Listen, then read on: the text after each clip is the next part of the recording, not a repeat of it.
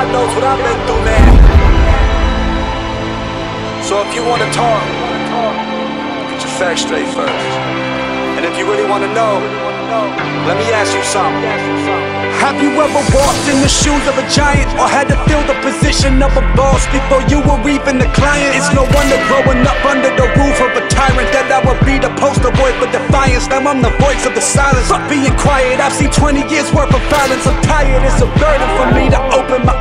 Not an undercover cop, but it's safe to say that I'm wired. I can't even get a grip on my life of pliers. I'm fucked up in the head. Close my eyes cause I see demons round my bed. So depressed, open them up, hoping I'm dead. Thought the fame would make it better, but it only fucked me over. Never used to touch a bottle, now I'm hardly ever sober. People wanna be my friend, but where the fuck were y'all when I was 10? 11 and 12 getting bullied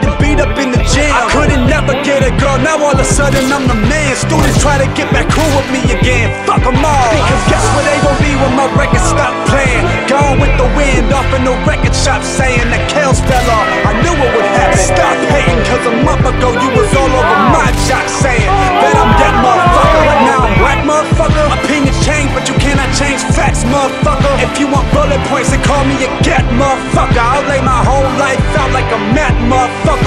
experienced some things that would stop you from eating. My schizophrenic cousin tried to end my life while I'm sleeping. My bummy uncle wanna call now that he sees me succeeding. My mama left me for a teacher, lost my dad to the preaching. Half my friends are buried six feet, all the rest in the precinct. Literally watched my grandmother die from diabetes. I guess my prayers were answered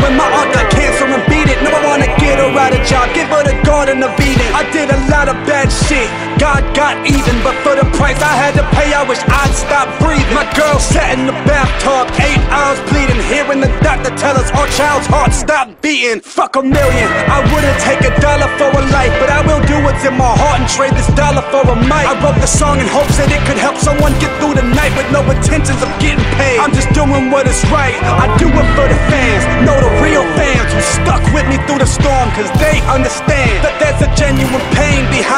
words I'm saying, and they embrace me. So I thank y'all for staying. Ain't it crazy that passion is my Achilles heel? Either Yo guys, thanks for 125k. I couldn't have done it without you guys. And yeah, leave this video a like.